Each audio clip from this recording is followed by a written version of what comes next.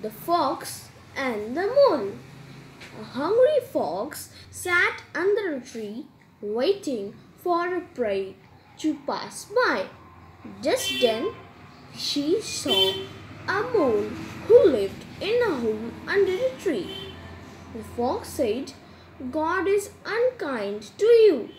You live underground and cannot enjoy the sun. The mole said, I am very thankful to God for this gift. The fox laughed. God does not care for creatures like you. He said, God loves me. He protects those who have faith in Him. Suddenly, the mole ran inside in his hole.